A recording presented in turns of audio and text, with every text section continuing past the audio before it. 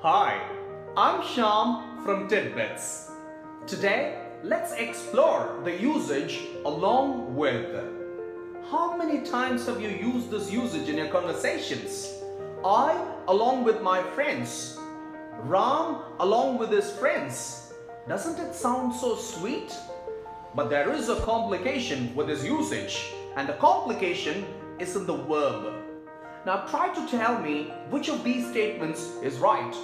John, along with his friends, is playing in the ground, or John, along with his friends, are playing in the ground. Which of these is right? My friends, when it comes to the phrase along with, the verb agrees to the subject that is far away from it. John along with his friends. Now, John is the subject that is far away from the verb. So, you shouldn't consider the subject friends. Thereby, it becomes John along with his friends is playing in the ground.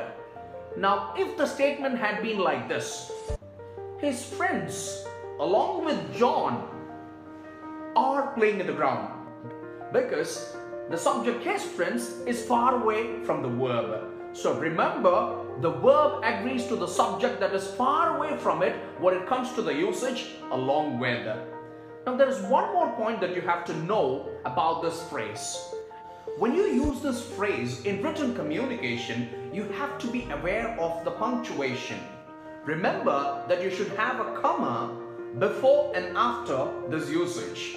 Example, he, comma, along with his friends, comma, is playing in the ground. That is how you punctuate this phrase. Are you clear friends? Use this phrase accordingly and better your English. My best wishes. Thank you.